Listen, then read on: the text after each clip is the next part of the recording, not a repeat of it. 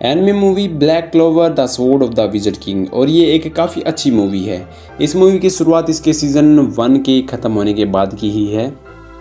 हालाँकि अगर आप इस मूवी को ना भी देखो तो भी आप इस एनमी का सीज़न टू आसानी से देख सकते हो, क्योंकि कहानी ज़्यादा कनेक्ट नहीं होगी। क्योंकि ऐसा कुछ नहीं है इस मूवी में जो आपको सीज़न टू में देखने को मिल सकता है। यानी कि इस मूवी ने अपनी कहानी शुरू की थी और अब प्रॉपर ख़त्म कर दी है।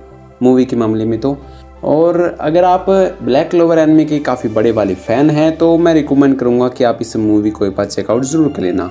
हालाँकि इसमें एक एंटी विलन आपको देखने को मिलेगा। एंटी विलन माने जो अपने हिसाब से ऐसे काम कर रहा है, जो जो हीरोइक तो बिल्कुल नहीं है। अगर मैं थोड़ा स्पॉइलर देना चाहूँ तो इसमें एक विलन है जो दुनिया को ख़त्म करना चाहता है, लेकिन वो ख़त्म करके उसी जगह पर या कहो सभी बंदों को मार के, उनकी स्पिरिट्स को कलेक्ट करके, केवल जो अच्छे लोग हैं, उन्हें ही समन करेगा, वापिस ज़िंदा करेगा। अब यहाँ पर बुरी बात यह है कि यहाँ पर बैलेंस बिगड़ जाएगा और इस दुनिया को ख़त्म करना कोई सॉल्यूशन नहीं है, बल्कि इसे सुधारना वो इम्पोर्टेंट है। तो इसी कारण से जो बाकी हीरोज़ हैं और जो विलन है, काफ़ी बुरी तरह लड़ते हैं। हालाँकि इसमें किसी मेन करेक्टर की जान नहीं जाती है विलन को छोड़ के। इसलिए मैंने कहा कि ये इसका प्रभाव सीज़न टू पर नहीं पड़ेगा। इसमें जो स्टोरी है और वो जो फाइट है, काफ़ी अच्छी सीन्स हैं। हालाँकि अगर एक प्रॉपर विलन होता जो सिर्फ़ जिसका दिमाग फिर गया हो, वो अगर लड़ाई करता तो देखने में ज़्यादा मज़ा आता।